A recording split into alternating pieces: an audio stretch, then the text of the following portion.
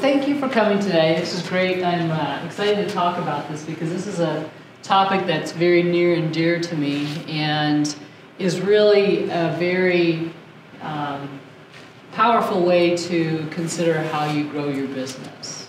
So, with that, what's different? Or maybe I should ask the other question what's not different today, pre pandemic? Because people have had two and a half, three years to really rethink everything in their life, right? You know, we were now we were working remotely, entirely remotely. Um, we don't didn't commute for a long time. If you drove your car places, you said, "Hey, maybe I can do this without having to commute." And so people went through a, an assessment of what do I want and where do I want to go and am I doing what I want to do? And I think the Great Resignation was a surprise to me, and in some respects, that that many people would choose to walk away last year from what they were doing. But I think it was a really powerful example of people voting with their feet in a way that they never had voted before. And I think those are all things as business leaders that are really important for us to pay attention to today. So I'm not going to go through this. This is just kind of like an example of stuff that's changed. But in your own mind, I'm sure there's experiences and things that you've noticed in your own world, in your own business that have changed. And the thing, bottom line, I guess I'd like to share with you is that change is going to be here forever. We're not going back to where we were. We don't see buggy whips around, so we never went back to buggy whips. But the thing that's going to happen is change is going to increasingly come faster and faster, and it's going to be more and more information that you're going to have to process very quickly as a business leader. And it's going to be more important for you to pay attention to yourself as part of that process because it's pretty hard to lead people if you're not sure where you're going. Okay? So that's why I wanted to talk about mindset because I think that's really, really key. So we don't really hear about mindset um, being discussed within the business community. But I will tell you, and I've got two names up here, Ray Dalio and Oprah Winfrey, they are ultra successful business people by almost any stretch of the definition. And they are both, in different ways, very mindful individuals. Dalio meditates once a day, and if you read his quote, on really difficult days, he meditates twice a day. Oprah Winfrey leads a mindful life in terms of how she operates and lives in the world is she's very conscious of where she is, how she's thinking, and so forth. So those are just two examples, and there's many, many others, and I would argue, in one sense, all successful business people, all successful people in life are mindful in their own way, just maybe more or less obvious, but you have to really have that kind of a mindset to be a a success anyway. So what I'd like to do is talk to you a little bit about why I'm a big fan of mindfulness. So I'm going to talk to you about my own experience, our own experience in coming to terms with mindfulness. About 20 years ago, we started a software company out in uh, California we just moved out there. We'd been around the world doing different jobs. I was working in large corporations. Peter, who's in the room, my business partner, life partner, whatever, been married for decades. Um, he'd been consulting for a lot of years, and we had reached a point where, okay, we got to do something different. So we just moved to the Silicon Valley area, and we said, hey, let's start a business. How hard can it be? And it was really, really hard. So don't ever say that because it's really, really hard. Um, we learned a lot. Um, built this company through the Great Recession. Uh, we didn't raise money, we bootstrapped the whole thing, which made it even harder. One exit down from our house, Google was hiring. The other exit north, Facebook was hiring. And this is when they were scaling early on. We had to somehow be different because we had to attract same kind of talent, but we couldn't pay them that, and we didn't have the beautiful office buildings and money. So we had to really rethink how we did things. Fast forward to 2014, roughly 10 years we put into this business, started in our backyard, and we found ourselves at a point where we decided, you know, we're exhausted. We're just wiped out here. And so we decided to hire an investment banker to shop the business. Nobody was interested. This is a very successful tech company. We transformed the food service and vending industry with the software. We couldn't find any buyers. We were also, the two of us, in a very negative place. We didn't like ourselves, we didn't like each other, we didn't like what we were doing. Everything was cloaked with a negative perspective. Very tough. The third point is um, we, were, we were in a place where we just wanted out, which is kind of related to that, that negativity. We were just exhausted. And we found ourselves later in that year in an even more difficult place when our business partner, who had a multi-year contract with us, decided he was going to get out. Of course, we challenged him. It's like, no, you're not going to do that. Well, he got out. So we found ourselves late 2014 with six months before we'd have to file for bankruptcy and lay off all the employees who had committed to us for nearly 10 years. That was a really, really bad place to be. Really bad. We went down to see family late that year for the holidays and spent some time, decided to stop in New Orleans on our way back.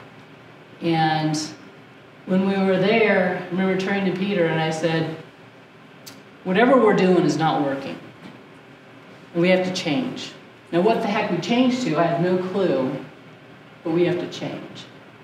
And I remember when I said that to him, I was scared to death because it felt like we'd tried pretty much everything, and I just had no clue what to do.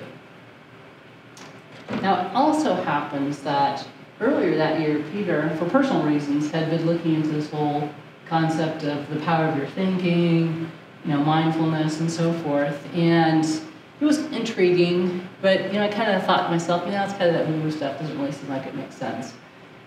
But given the situation we found ourselves in, we had no options. And it's like, okay, this is something we can do. It's free, I don't have to pay anybody. It's all with me, I don't have to go anywhere. So let's do it. Let's try it out. Let's figure it out.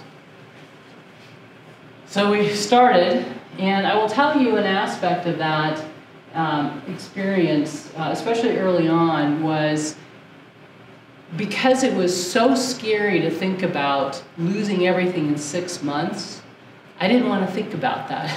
So this was all an alternative to thinking about that oh my God, we're going to eventually have to lay off all these people, and, and we have nothing to show for 10 years of effort. So that was the incentive to also move in that direction.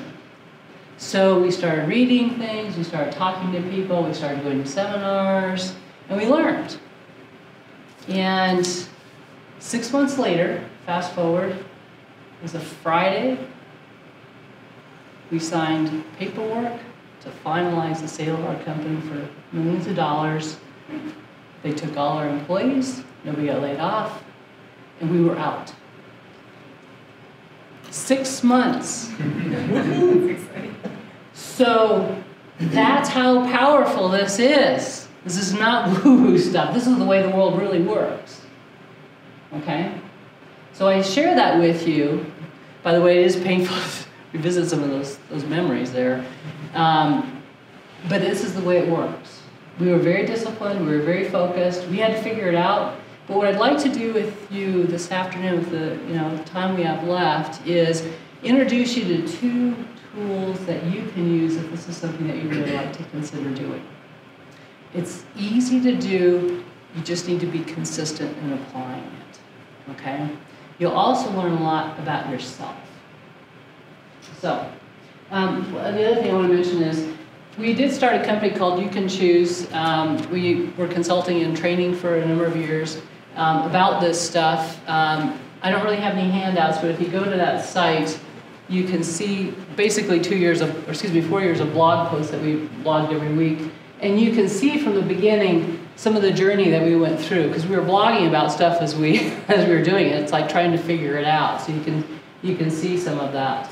Um, the other thing is we wrote a book, and the book is all online, and the book is, each chapter is a half a page, it's not long, Um, but I would ask if you do that, read the introduction first so that you know how to read and use a book. Because each chapter has a lot of stuff packed in it. And what is really beneficial is if you read the chapter and then you think about it for a day, a week, whatever works. But just reading through the whole book, you could probably do it in an, in an hour if you really read fast, but you'll miss out on all the benefits of it. It's really about thinking about the stuff that's in there. So that's out there. Instead of a handout, where you can go. It's free. If you want to buy a hard copy, you can pay Amazon 10 bucks. Um, so the first thing is to pay attention to what you think about. And this was an early experience I had. I remember one day I was um, sitting around and I was just watching people in a, um, a coffee shop, side of the street, corner. And I, I thought, you know, I'm just going to pay attention to what I'm thinking. So he said, you know, go ahead, be a fly on the wall in your head and just observe your thinking. And I remember hearing all this chatter in my head that's like commenting about why did he put those shoes with that pair of pants? Or why did he cut his hair like that? Or why, how, and then I remember thinking to myself, like, what are you talking about? Who the heck cares, Beth? This is like stupid.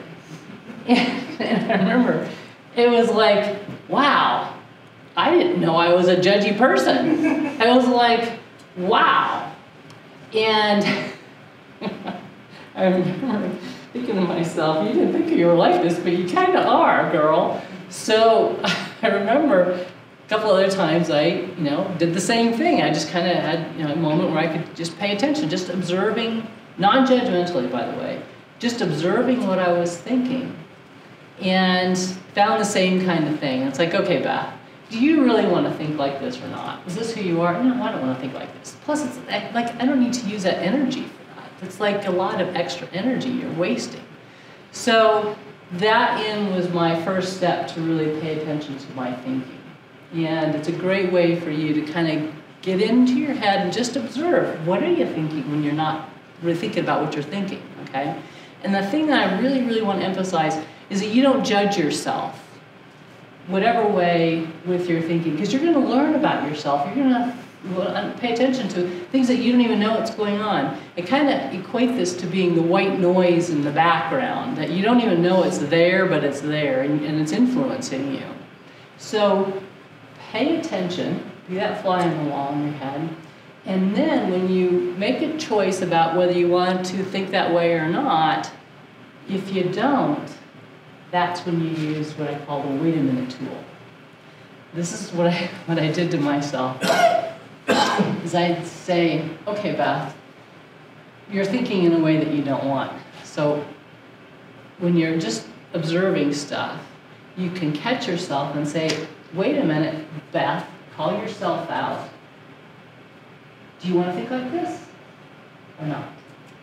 And when you do that, it instantly stops that thought process and it gives you this nanosecond to choose do you want to keep thinking like that or not?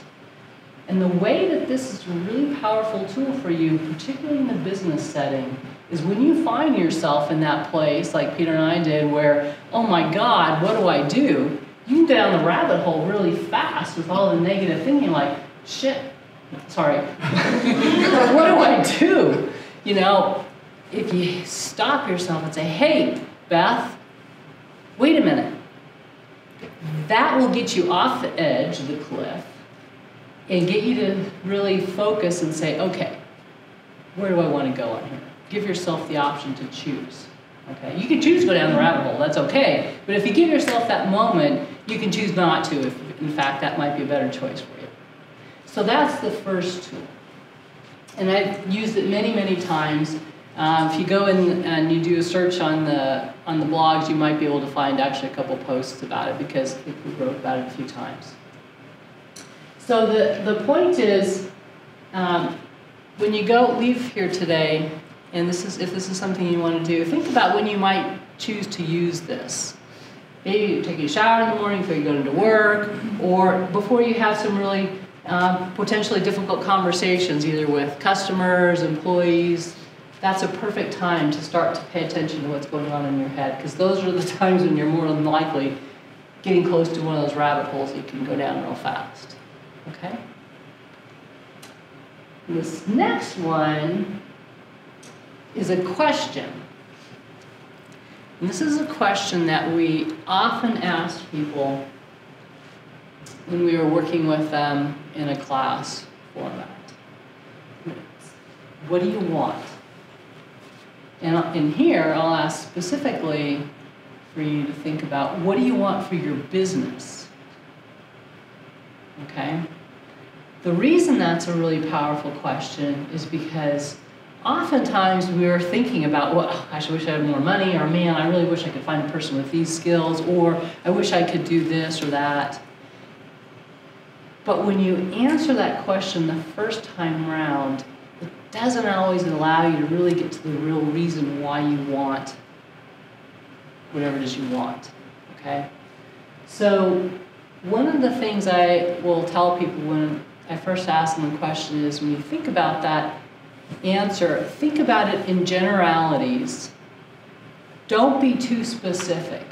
Because if you think in general about what you want, and I'll say, I'll, I'll give you an example here to walk through, because um, I'd like you to team up here in a second is if you get really specific about what it is you want, you start to eliminate possibilities that it could come to you in a way that are way better than what you're asking for.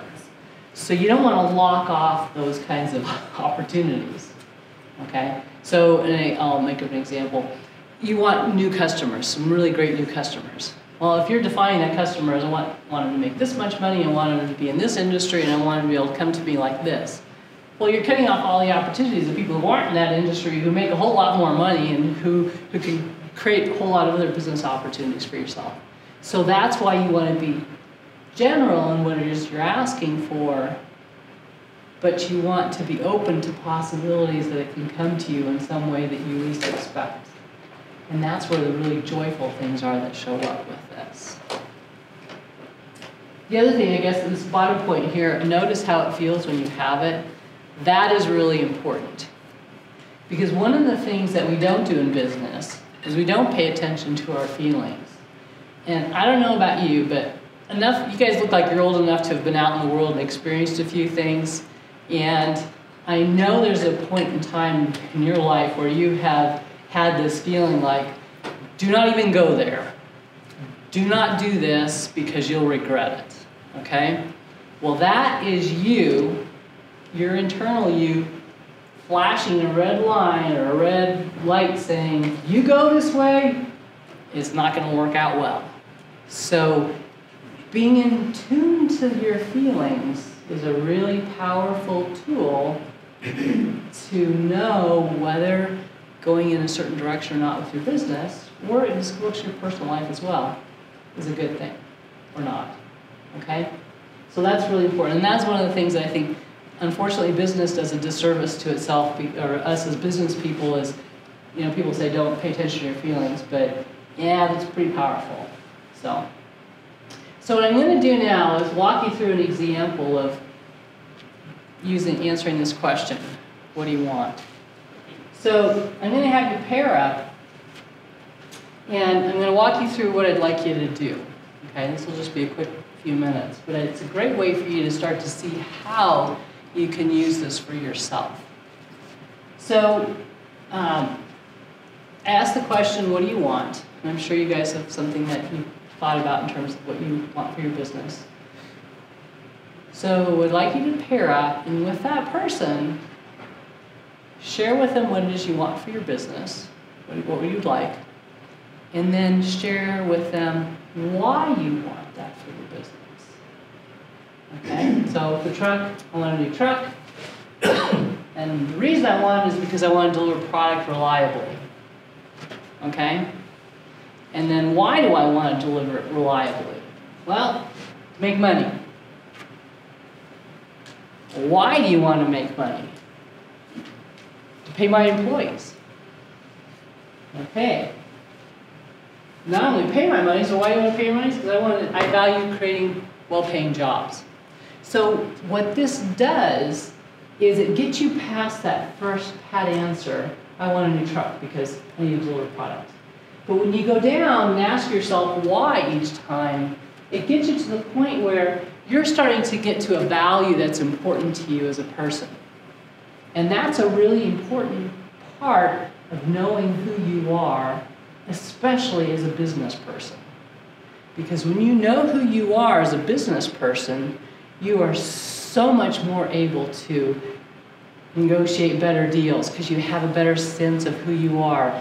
You're much more able to attract talent that you want to work with you, that would work well with you. Okay? Those are the kinds of things that start to show up in your business when you have a much better sense of who you are as a person. Okay?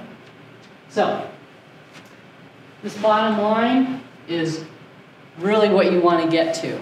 And so, if we can, I'd like to have you just, you know, with somebody next to you, it doesn't matter who. I'd like you to do this. We've got, a few minutes, and I want you to practice doing this because this is really, really important. So.